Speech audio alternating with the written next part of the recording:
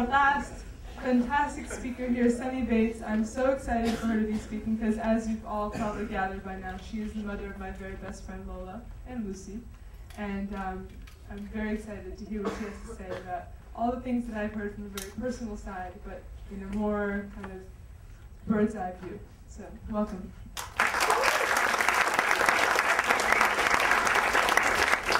I don't know about all of you guys, but I have a major headache.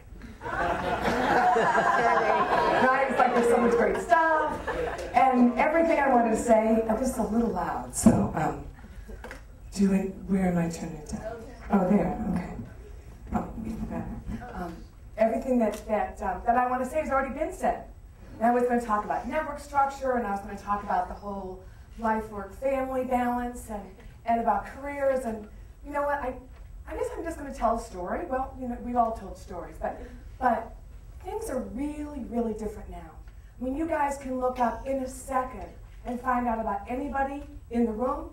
You can look up on my website and you can say, okay, there's this is Sunny Bates, and what is she's this kind of connector, right? What is this? Is this this connector, and there's this invisible network, and what is it? And you know, it sounds pretty cool, and maybe I could do that too. So how do I get from there to here? Okay, 30 years ago, I was in a room kind of like this. It wasn't as nice as this, but um, I was graduating from Cornell. The economy totally sucked. We had, um, I had a degree in Middle Eastern Studies and Energy Economics, and I knew I wasn't going to work for an oil company in Saudi Arabia. So we had the, um, I already said no to that. Um, we had a, um, our president at the graduating address said, you know, it's really rough out there right now, so write to me if you get work. It was no to Saudi, it was yes to New York City, and um, I just moved to New York figuring fame and fortune, maybe I'd get into publishing, I'd figure it out. Well, I was from the Midwest, I didn't have a lot of friends there, but I got to New York and I thought, well, you know, what do you do? You just get started, right? And I didn't really know what I was passionate about. I mean, I was obsessed with passion, but I didn't really know. And I, but I, I was like, what can I be passionate about? But no, I just, figured, I just figured that, you know, I would start. So I got the yellow pages, and back then, it was a, a massive book. It looks like those giant dictionaries, like the medical dictionaries that you see in the library, millions of names. And I went in the section that said periodicals and magazines and there were 220 that I chose that I thought, well, I could work here. And I'm thinking, you know, the, you know between me and a job are 220 phone calls.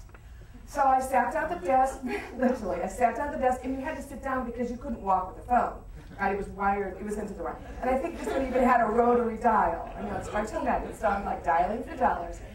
So, so 220 cold calls, 100 personal in-person interviews, um, over eight weeks, I got three job offers. I'm like, okay, this is great. It's a numbers game, right? I can do this. I can figure this out.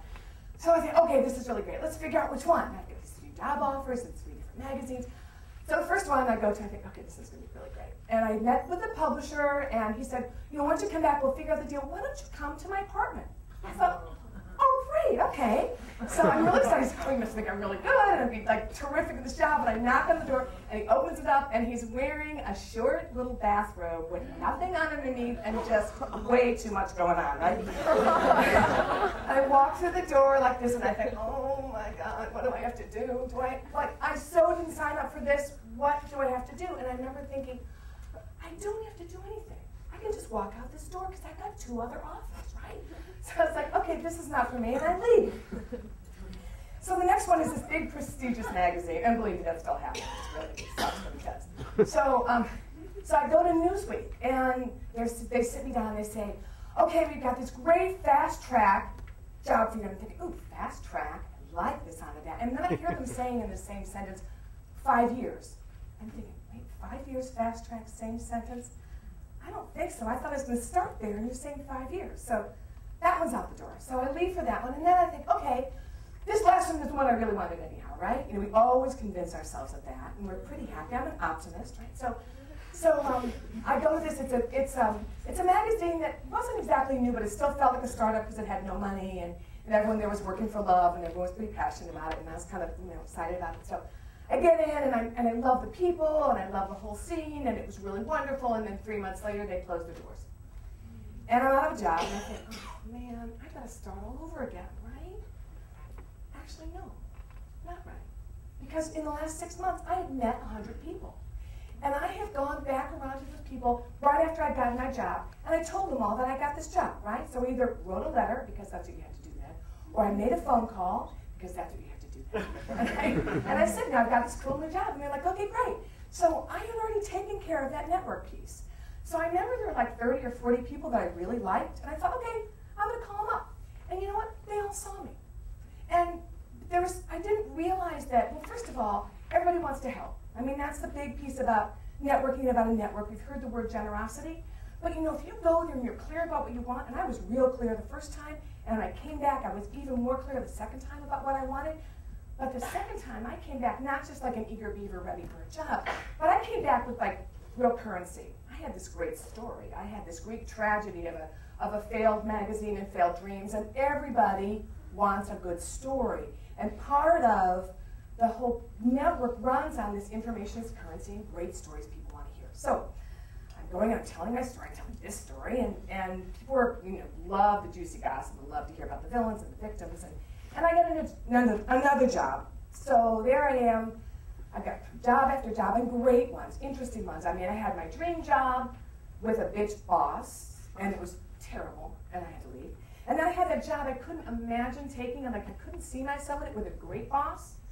And I tell you, take a great boss, work with great people anytime over difficult people. It doesn't matter what it is, you'll learn a lot more. So 10 years and seven startups and a baby later.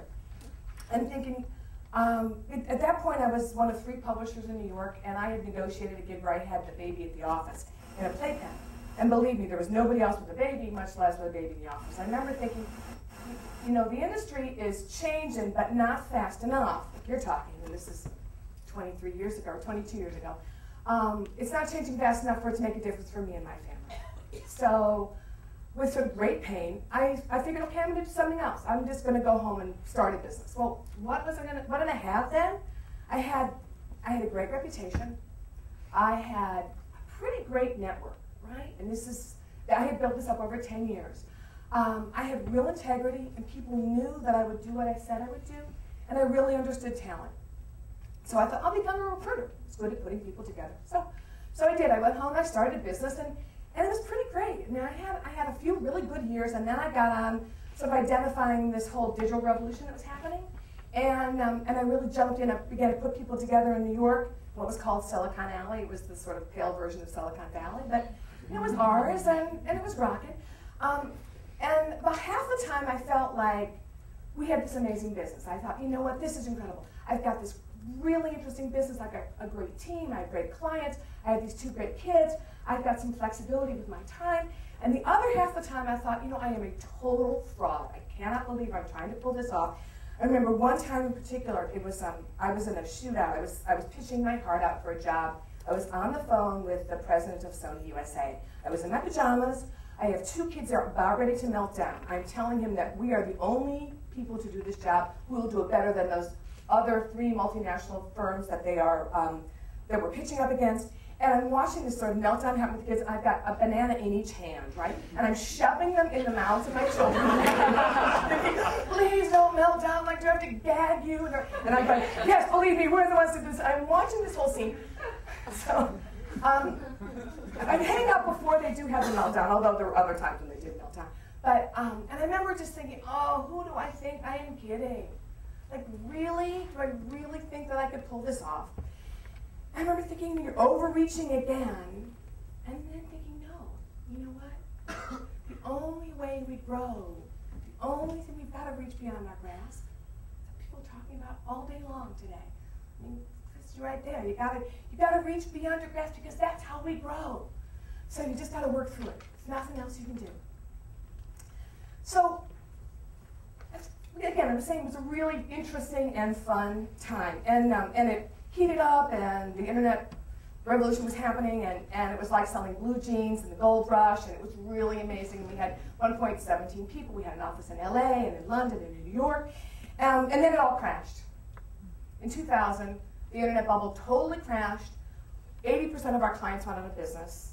It was really brutal. There was no work. I mean, there was no work for us. And um, so we were like, okay, what do we have? We've got this great network.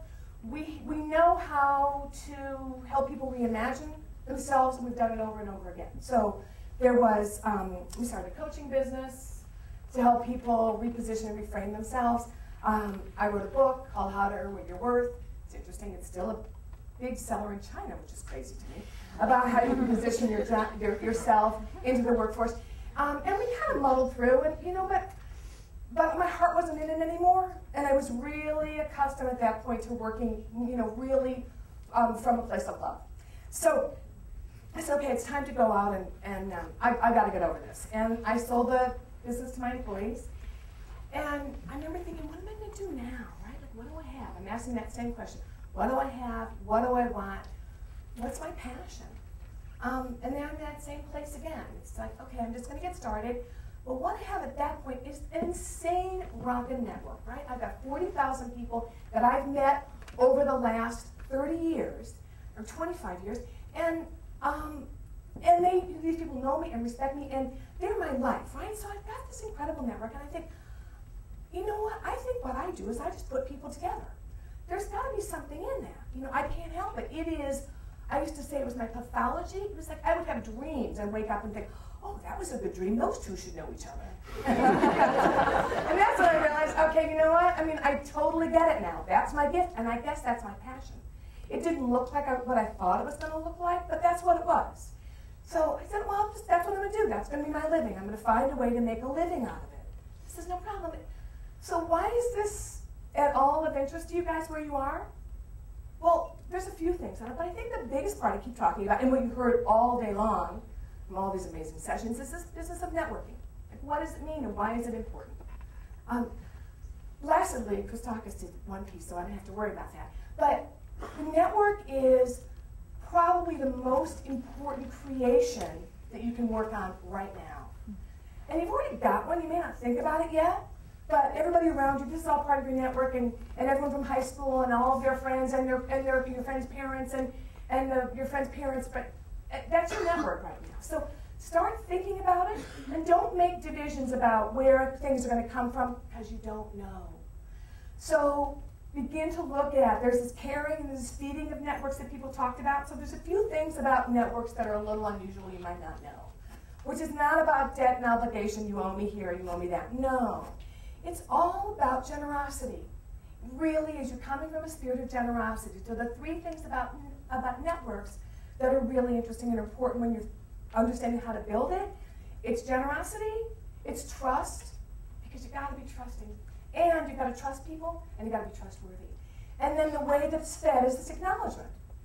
Just you gotta thank people all along the way for helping you out. You gotta bring them along on your journey.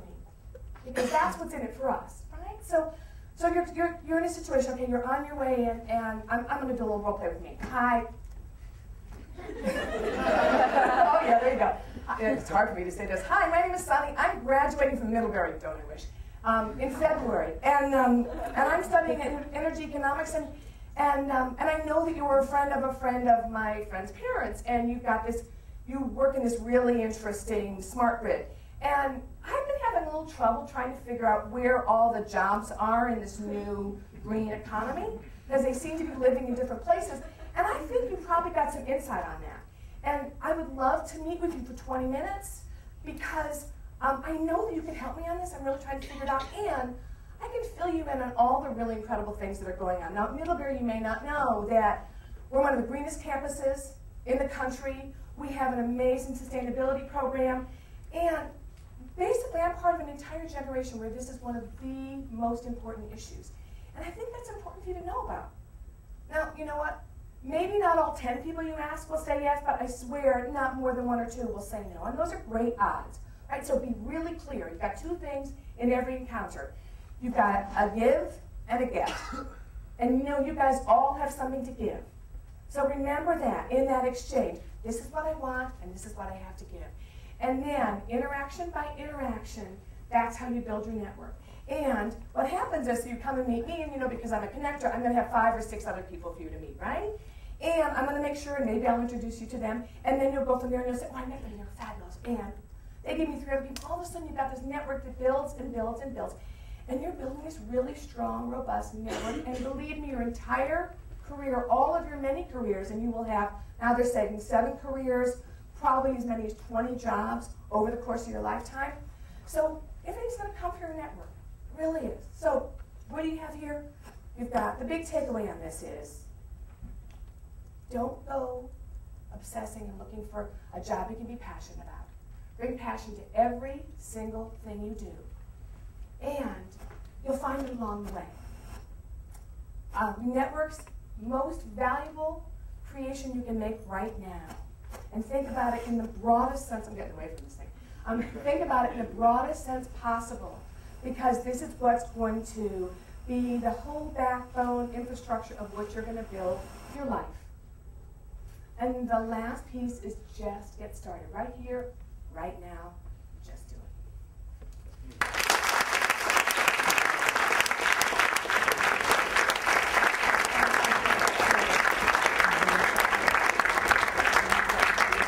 Now, there's one more thing that I want to talk about here because I, um, um, I've been going to TED since 1993, and um, I've never missed one. Um, and this is actually the first time I've talked a full 18 minutes or um, 16 minutes. Um, so it's a real pleasure. But I have to say that never have I been more proud that I have been of, of you today, Chloe.